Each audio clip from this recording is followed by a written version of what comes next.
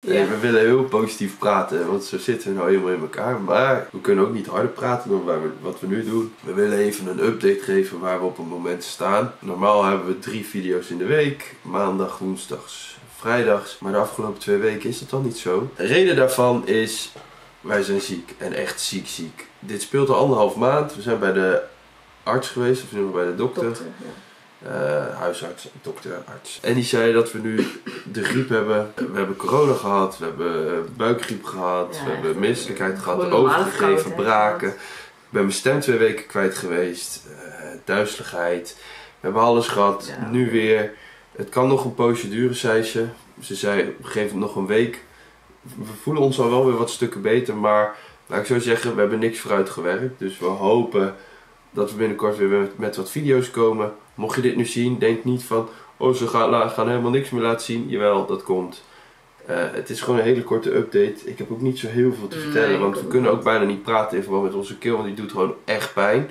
We hadden gisteren een ijsje gegeten om de keel te verzachten. Ik kan je één ding zeggen, het brandde gewoon door mijn keel heen. Zo verkoelend was het ijsje, om even aan te geven. Nou, we slapen, maar we slapen hier ook echt heel slecht. we, door we slapen er slecht door, we zweten heel veel daardoor s'nachts. En ook door En- corona zijn we echt... Qua energie is echt... eh, mm.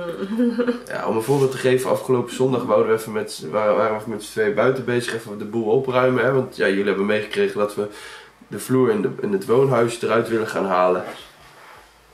We hebben met z'n tweeën tien balkjes geteeld. En we hadden allebei het gevoel dat we nokkie gingen. We kunnen op dit moment heel weinig. Dus we zijn vooral bezig met uitzieken. Bijna de hele dag op de bank liggen of op bed liggen of noem maar op. We proberen zo snel mogelijk beter te worden. Maar we houden jullie op de hoogte. Maar dat was ook de reden van de video's, dat het allemaal een beetje... eh, Ja, dat het allemaal wat anders is dan anders. Maar in ieder geval, komende weken staat er echt heel veel gepland.